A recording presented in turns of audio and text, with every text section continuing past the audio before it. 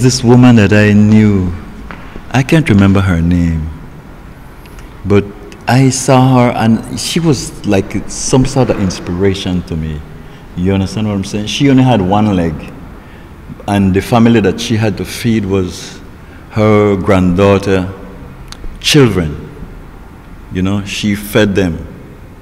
Every day I see that lady usually pass by my area there, and with her produce on her head, the crutch under her arm because she only had one leg. And every day she goes out religiously, and she happy doing it. Sometimes she be humming, uh, she be humming, you know, singing songs while. And I said, man, she's amazing, you know.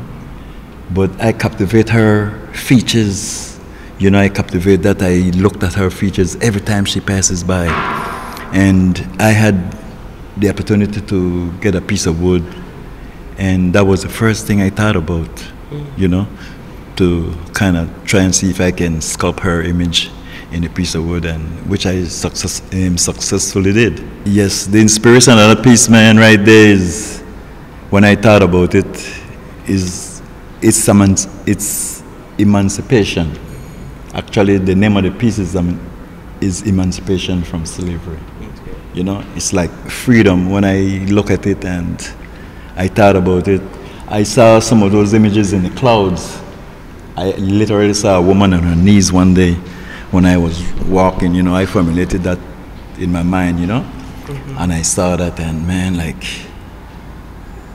I looked at it for, for a while, you know. I turned away to make sure that that really wasn't what I was seeing.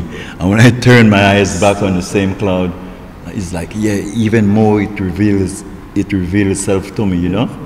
So yeah, I went home and I had this piece of wood that I was working on.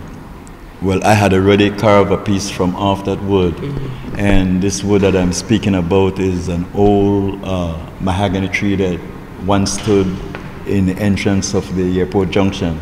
There was an old red mahogany tree that stood on, I think it's like on the left hand side going up. Mm-hmm. Just right at the entrance where, the, where the airport.